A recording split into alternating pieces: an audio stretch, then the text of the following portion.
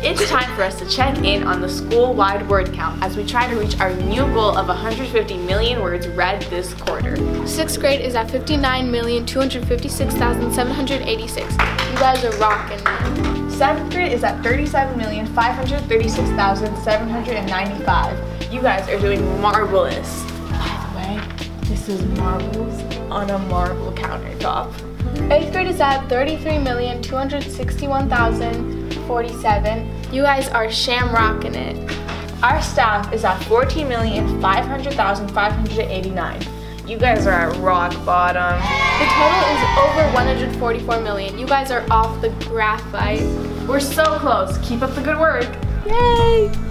For those of you interested in being a part of the top 25 Readers Pizza Party with Mr. Dix and the Shamrock News team, here's the update we can give you. The 25th place reader is at 650,000 for the quarter. So if you're ahead of that, then there's a strong chance that you'll be invited to the top 25 pizza party.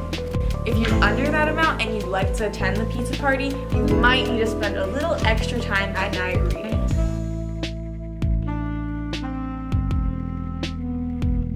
It's time to draw for some shirts. Thanks to everyone for getting the shirts in the shirt nook. Now let's see who won a $10 Barnes & Noble gift card. Our sixth grade winner is Marla Martinez from who read The Wild Robot.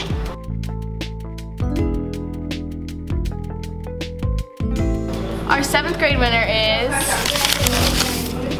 Angel Wilton, who read Dork Diaries Tales from Not So Talented Pop Star.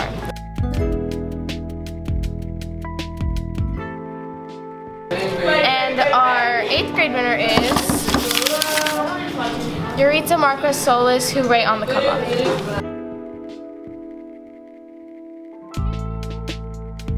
Come down to Mr. Dix's room, room 103 to pick up your Barnes & Noble gift card.